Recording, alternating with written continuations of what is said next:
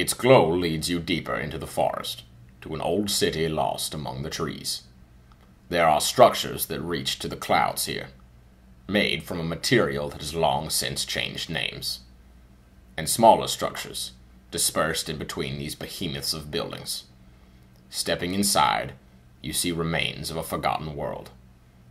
Furniture covered in leaves, and vegetation growing in the mist.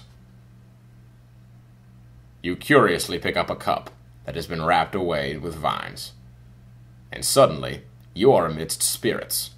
They are all around you, strange humanoids with hollow eyes. Do you set the cup down? Or do you bolt for the door